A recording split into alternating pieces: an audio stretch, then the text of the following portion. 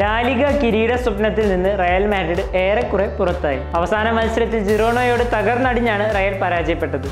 രണ്ടിനെതിരെ നാല് ഗോളുകൾക്കാണ് ജിറോണ റയലിനെ തോൽപ്പിച്ചത്. ഇതോടെ ഒരു മത്സരം കൂടുതൽ കളിച്ചിട്ടും ബാഴ്സയേക്കാൾ പതിനൊന്ന് പോയിന്റ് പുറകിലാണ് റയൽ മാഡ്രിഡ്. ഇനി റയോ വല്ലക്കാനയുടെ അടുത്ത് അടുത്ത മത്സരത്തിൽ ബാഴ്സയ്ക്ക് വിജയിക്കാനായാൽ ഈ പോയിന്റ് വ്യത്യാസം പതിനാലാക്കി ഉയർത്താനും ബാഴ്സലോണയ്ക്ക് സാധിക്കും. ഇനി വെറും ഏഴ് മത്സരങ്ങൾ മാത്രം അവശേഷിക്കെ ഈ പോയിന്റ് വ്യത്യാസം മറികടന്ന് റയലിന് ജേതാക്കളാക്കാൻ കഴിയുമെന്ന് തോന്നുന്നില്ല.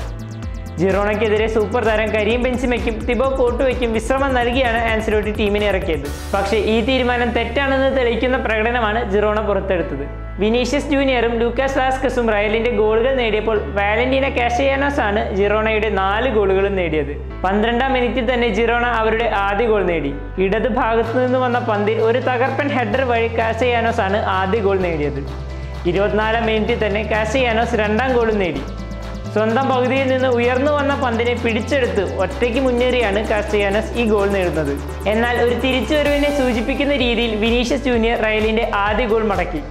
അസൻസിയോയുടെ ക്രോസിൽ നിന്ന് ഒരു ക്ലോസ് റേഞ്ച് ഹെഡർ വഴിയാണ് വിനീഷ്യസ് ഗോൾ നേടിയത്. ആദ്യ പകുതിയിൽ ഒരു ഗോളിന് പുറകിൽ നിന്ന് റയലിനെതിരെ രണ്ടാം പകുതിയിൽ രണ്ടെണ്ണം കൂടി നേടി ജിറോണ ഞെട്ടിച്ചു. രണ്ടാം പകുതിയുടെ തുടക്കത്തിൽ തന്നെ നാൽപ്പത്തി ആറാം മിനിറ്റിൽ കാസ്റ്റിയാനോസ് തന്റെ ഹാട്രിക് തികച്ചുകൊണ്ടുള്ള ജിറാണോയുടെ മൂന്നാം ഗോൾ നേടി. ഇത്തവണ വലതുഭാഗത്ത് നിന്ന് വന്ന പന്തിനെ കാസിയോനസ് പോസ്റ്റിലേക്ക് അടിച്ചു കയറ്റുകയായിരുന്നു. അറുപത്തിരണ്ടാം മിനിറ്റിൽ കാസിയോനസ് ജിറോണയുടെയും തന്റെയും നാലാം ഗോൾ നേടി. വലത് വിങ്ങിൽ നിന്ന് വന്ന ക്രോസിൽ ഒരു ക്ലോസ് ഹെഡറിൽ നിന്നാണ് കാസിയോനസ് ഗോൾ നേടുന്നത്. എൺപത്തി അഞ്ചാം മിനിറ്റിലാണ് റയലിന്റെ തോൽവിഭാരം കുറച്ചുള്ള രണ്ടാം ഗോൾ വരുന്നത്.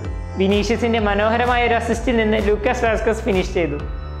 എന്തായാലും ഈ തോൽവി റയലിന് വലിയ തിരിച്ചടിയാണ്. ഇനി രണ്ട് മത്സരങ്ങൾ കഴിഞ്ഞാൽ കോപ്പ ദൽറെ ഫൈനലിനും ചാമ്പ്യൻസ് ലീഗ് സെമി ഫൈനലിനും ഒരുങ്ങേണ്ടതാണ് റയലിന്. അതിനിടയിലാണ് ഇങ്ങനെ ഒരു തോൽവി വന്നിരിക്കുന്നത്.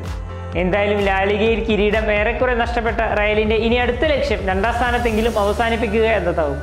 ഏപ്രിൽ ഇരുപത്തൊമ്പതിന് അൽമേരിയക്കെതിരെയാണ് റയൽ മാഡ്രിഡിന്റെ അടുത്ത മത്സരം.